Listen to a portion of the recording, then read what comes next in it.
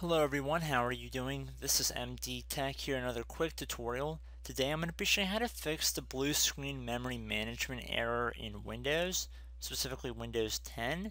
So there are various reasons why you might be getting this error and we're going to be showing you how to hopefully resolve this option.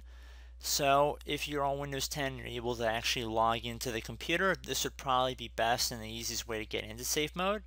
Otherwise, you'd have to go through the advanced boot options that is more common to earlier versions of Windows. So we're going to start by heading over to the Start button, and we're going to left click on it, and then left click on Power and Reset while holding down the Shift key. So while holding down the Shift key, left click on Restart. This will get us into safe mode.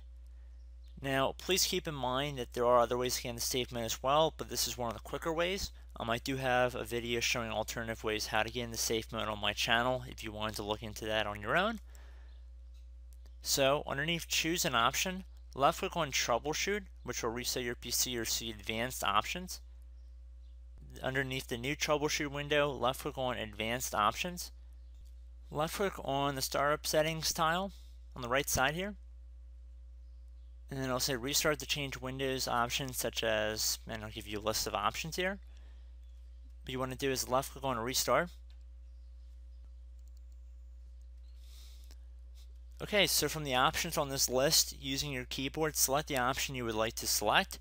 I would say number 5 is probably best for most people because that'll enable safe mode with networking. So click on the number 5 on your keyboard and then it'll start booting Windows into safe mode.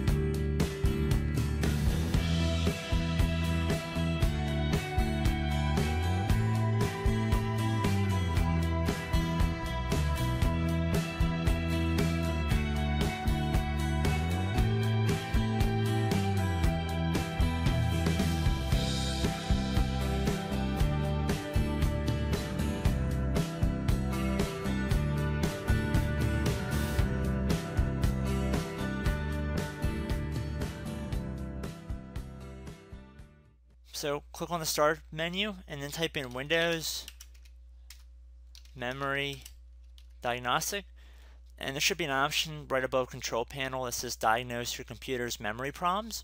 So left click on this. Select the first option that says restart now and check for problems which is recommended. Save your work and close any programs before restarting. So left click again on that. So this will begin restarting your computer here.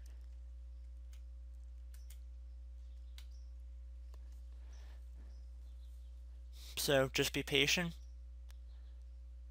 And now it'll load the Windows Memory Diagnostic tool. This will take a little bit of time to run, so just be patient.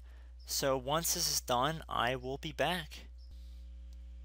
Hello everyone, I'm back. So the computer has restarted and we should be able to log back in and hopefully our error alert associated with the memory management has been resolved. So I hope this brief tutorial helped you guys out and I will catch you in the next tutorial. Goodbye.